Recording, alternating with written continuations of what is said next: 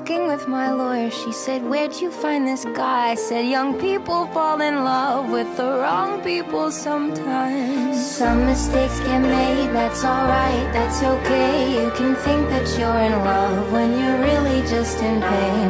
Some mistakes get made, that's alright, that's okay. In the end, it's better for me. That's the moral of the story, babe.